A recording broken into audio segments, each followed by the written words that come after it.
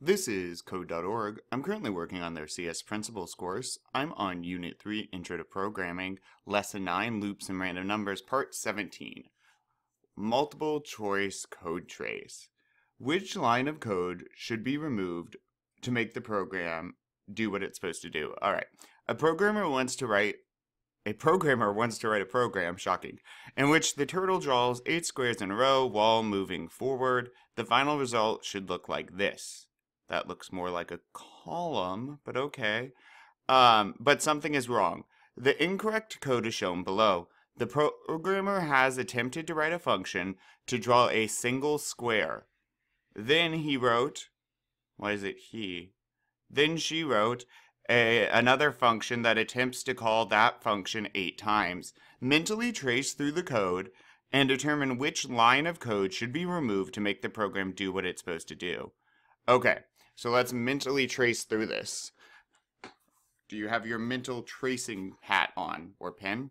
All right, draw eight squares. That calls this function. And now how many times does this run? Well, it runs eight times, right? Because it starts at i equals zero, i equals zero, it runs with i being equal to zero, hits the bottom, goes back to the top. i plus plus means i plus one, so zero plus one is one, and now it's gonna run for its second time, right? When i equals 1 because it run once when i equals 0. i will now equal 2, 3, 4, and then i now equals 7. It runs again, hits the top, i plus 1 equals 8. 8 is not less than 8. It's done running. But it ran 8 times because it ran once at 0. Alright, so it runs 8 times. We draw a squ square 25. What's that do? That calls this function, the size is 25. Oop, this is a 4 for probably 4 sides turn right each time. Okay. So that means we're going to turn right four times. Oh, I think I see it. So we're going to turn right four times.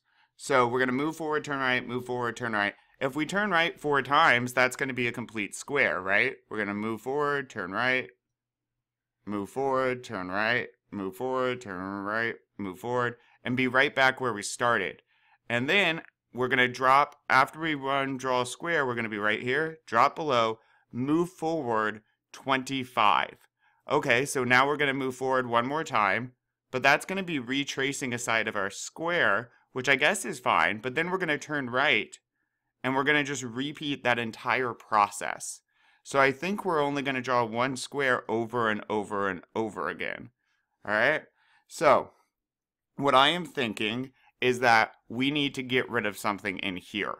We want to draw the square, but if at the end of this we end exactly where we started and we want to go up to draw the next line, I'm not sure if we should turn right again.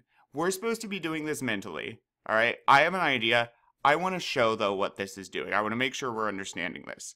I wrote it out here. Okay. I magicked my way over to this screen. This is what our code does right now.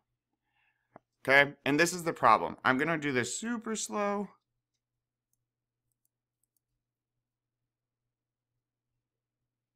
Okay, so now we're moving forward. That's one side, two sides, three sides, four sides.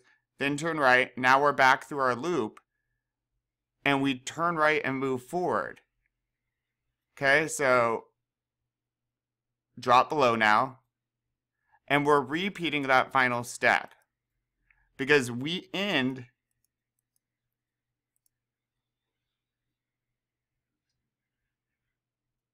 the first time we end here, we then, so our function start, our code starts, our program starts, we run draw eight squares.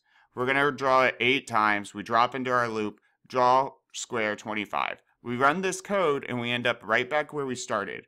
Once we're done running this function, we then run the code below it, move forward. So our turtle moves forward one side, and then we turn right. Okay? If I'm turning right again, I hit the bottom, I loop back to the top, draw square 25. Okay, we run this function. Oh look, I move forward. Well, I was now turned right this way, so I move forward and turn right again. Four times, and I retrace the whole thing. Okay? And so if I am turning right after moving forward, I think what I want to do at the very end, if I'm right here after the first square, if I just move forward and then hit the bottom and loop around and run draw square, I should draw another whole square up here above it because I've moved forward one extra time. Let me see.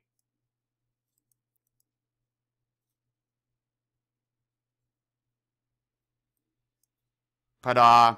Alright, I'm gonna magic my way back. Ah, hopefully. Yep. Alright, so hopefully that makes sense. We need to get rid of this turn right. So mine is 7. If you didn't understand this, go start this video again. Don't just take my answer. That's a bad idea. You need to understand this, or otherwise this course is going to get exceedingly difficult. Okay, let's keep going.